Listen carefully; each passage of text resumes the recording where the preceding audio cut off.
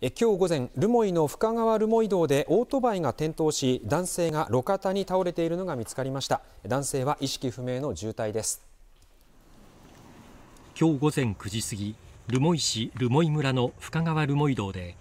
オートバイを運転していた60代の男性が路肩に倒れているのを、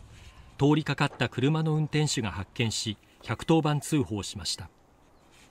男性はその後、ドクターヘリで病院に運ばれましたが、頭や顔を強く打っていて意識不明の重体です。現場は北流ひまわりインターチェンジから留萌方向へ500メートルほど進んだ緩やかな右カーブです。